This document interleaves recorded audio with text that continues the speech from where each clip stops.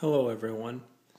A friend of mine asked me if I would uh, put just a short video together to show my settings on my Olympus OM-D.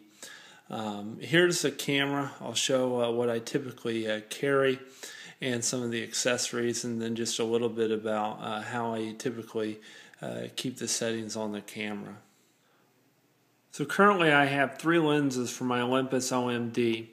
Uh, the first is the uh, stock lens, as you can see here. This is the Olympus uh, 12 by 50 millimeter, or in uh, 35 millimeter format, that would be a 24 to 100 millimeter. It's a very nice lens. Uh, it is weatherproof. Also can shoot uh, macro. Um, typically, I'm utilizing it when I'm at a place such as a zoo, at the zoo in which I know um, I need a, a zoom lens. Um, works really not nice. Uh, I guess the the downside is is that you do have to be in a well lighted uh, um, area to be able to shoot, especially at low ISOs. Um, otherwise, you're going to likely need a, a uh, flash. The second lens I have here is the uh, Panasonic uh, Lumix G Vario 7 to 14 millimeter. Uh, this is a very, very nice lens. It shoots at f4. Um, so, you know, it's the equivalent of a 14 by uh, what 28 millimeter, um, 35 millimeter format lens.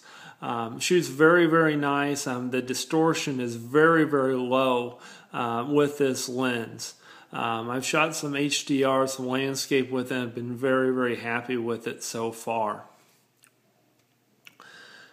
Uh, third and last lens is the uh, Panasonic uh, Lumix uh, 25 millimeter Summilux lens. Uh, thus, it has uh, you know the Leica branding, which I think is more of just you know the branding than it is actually being made by Leica. Um, again, it shoots at f1.4. It's the equivalent of a 50 millimeter, a 35 millimeter format lens. Uh, very, very nice. I have uh, not had any pictures uploaded yet onto my website. Uh, but I do like it. Uh, Steve Huff highly recommends it. I've seen some other websites also uh, recommend this lens. Um, each of these lenses, um, you can find some uh, reviews on other websites. I know Steve on Steve Huff photo.com talks specifically about the kit lens here and how he likes it and how some others like it. And I have to agree, it is a very, very nice lens. So onto the camera, I typically use the Domke uh, uh, camera strap that you can uh, see here. Uh, I don't typically ever use the, um, the straps that come with the camera. So we'll kind of move that out of the way here for a second. You can see I have the uh, 25 millimeter Summilux on the lens right now. So here on the top, um, typically I keep this under aperture priority. As you can look over here, you've got aperture, shutter, uh, the program mode, uh, manual, and then some others. Uh, I never use any, any, of the type of art um, settings or anything like that. So typically it's kept on aperture, maybe um, uh, P or priority mode um, every once in a while on shutter priority. Very rarely do I do manual. Uh, maybe if I'm shooting HDR, I'll do that sometimes. Uh, on the other side, you have your uh, recorder. You have the the F uh, function F2 key. I do use that as a, a, manual button, so you click on it, and then it allows me to manually focus the camera. So on the back of the screen, um, you can see the different uh, uh, buttons here. Fortunately, is not zooming in very well right now for focusing. But um, let's turn the camera back on. So typically I have my screen set up to where I can actually see the majority of the things that are actually going on kind of behind the scenes. So let me get it set up here. Some people don't like having all the different settings on the camera screen. I kind of prefer it. I like being able to look off to the side and see exactly what settings I have so I know that, I, that everything is set correctly. Um, so here's how I typically set things. If I go into the, uh, um, excuse me, go into the menu, um, typically, you know, I have my um, focus on uh, face and eye priority. That works very well when taking pictures of people and portraits. Move that back here. And then uh, audio I don't mess with. I usually keep my ISO on auto unless I'm shooting HDR, and then I typically will will lock it down at 200. Um, so other settings.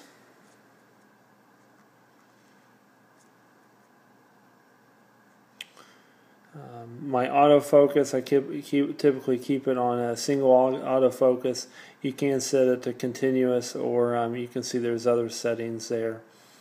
Uh, my uh, exposure metering, uh, you can keep it on evaluative like I do here, or you know center weighted or spot. Uh, typically on this, I usually keep it at uh, evaluative or uh, center weighted. Uh, my exposure, I guess this is probably one of the critical things. I always keep my exposure usually at a negative 3 to negative 1. Um, and I do this in almost any type of lighting. I just I think it makes the picture set uh, appear a little more contrasty. That's personally what I like. Um, I do keep in full HD mode if I'm going to shoot video. This does shoot wonderful video always shoot in RAW allows for a, a better fine tuning uh, while post processing, which is part of one of my favorite parts of uh, messing with pictures or, or uh, taking pictures. Uh, sequential uh, shooting, either I keep it usually in single or in sequential low. Uh, sequential high, you can shoot as many as 10 uh, frames per second. I will do that occasionally. Probably do it more as my little girl gets a little bit uh, larger. And then uh, they do have these different modes of um, allowing for different types of tones. Um, I believe that Steve Huff um, mentions that he keeps his either on nat natural or has it maybe on uh, on muted, but I've just kept it on vivid. I like my pictures being a little more uh, saturated, and uh, so far I've I've really really liked it.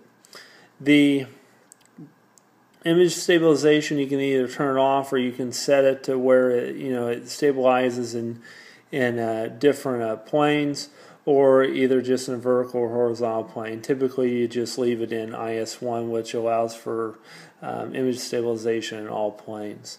Uh, again, it works very, very well on this camera. It's also what makes it a very good video camera.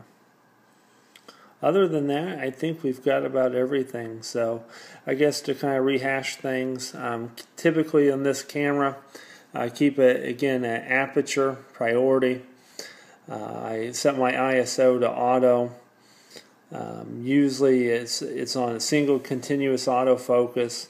Um, on the back of the screen, I do like being able to see the, the info, as you can see here. And then also, you know, this is a touch screen, so you can set in different ways to where it can just focus by, by touching the screen, as you can see here. You can also set it to where it, it doesn't focus at all if you touch it. And you can also set it to where it actually takes a picture uh, when you, when you uh, press on the screen, as you can see there.